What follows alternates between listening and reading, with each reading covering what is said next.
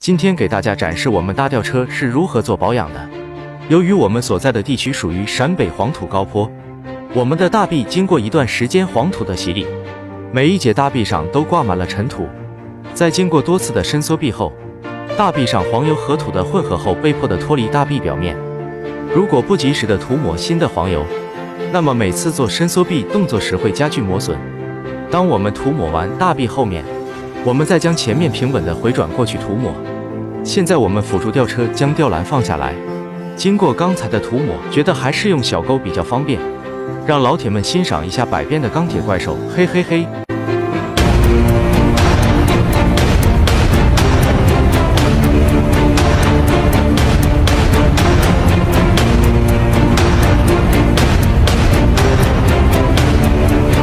现在我们把前面涂抹完后，我们就把这一节缩回来，再将下一节大臂伸出来，就这样一次前一次后的交替更换。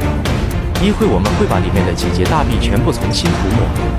相信大家已经看到了，我们的大臂在涂抹的过程中在回缩。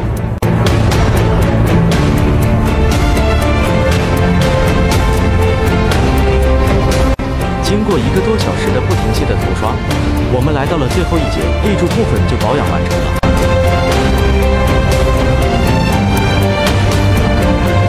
下面让我们来认识一下在吊篮里面的两位师傅。今天这部分工作辛苦两位了，相信大家会把小爱心送给你们的。你们也可以出来放松放松了。掌声在哪里？